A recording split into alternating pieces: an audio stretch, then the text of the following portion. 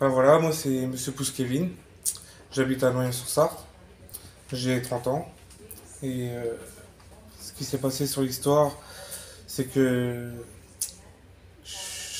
j'allais euh, faire une balade avec ma famille en direction du rond-point. Déjà, ça faisait déjà plus de 10 minutes que j'entendais euh, pas des hurlements, mais je pensais que c'était des enfants qui jouaient et qui criaient. Après, quand on s'est approché avec, euh, avec mes enfants et ma femme, j'ai vu au loin euh, cette petite fille euh, de 16 ans, Luna, euh, assise sur le rond-point, en train de se protéger des chiens qui la mordaient un peu partout. Et du coup, bah, moi j'ai voulu intervenir, sauf que bah voilà, ça s'est passé comme ça s'est passé. Les chiens m'ont attaqué. Je me suis retrouvé au sol avec trois chiens sur moi. Je me suis relevé. C'était difficile. Euh, c'est mes nerfs qui ont pris le dessus sur moi.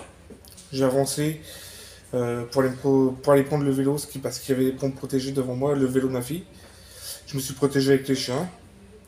Après, les chiens sont repartis en direction de l'avenue du Maine.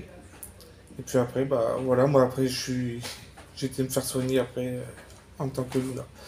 Qu'est-ce que vous avez pensé de l'audience concernant l'audience, je pense que la peine a été très très peu. C'est pas assez. Je, pense que c'est.